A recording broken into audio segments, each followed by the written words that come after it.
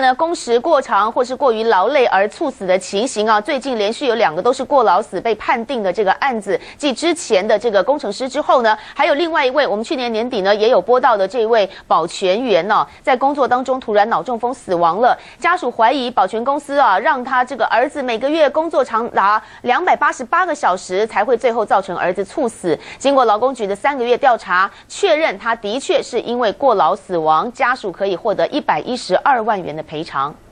两个月过世的时候才二十九岁，想到宝贝独生子才二十九岁就因为超时工作猝死，单亲妈妈不禁鼻酸。我儿子的一条命都没有了，我家绝后了，因为我就只有张建国这一个一个孩子，我也我也没有其他的孩子，也没有女儿了。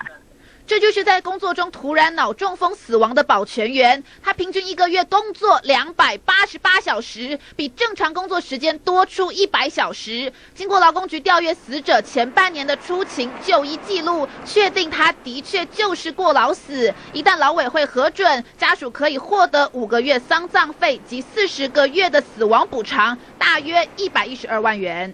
他赔偿我的钱也没有没有办法弥弥补。弥补我我失去张定国的痛苦。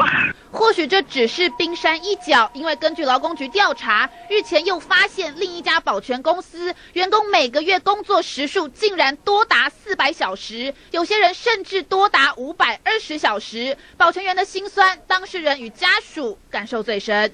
中电新闻阿公雅麦丁新雅台北报道。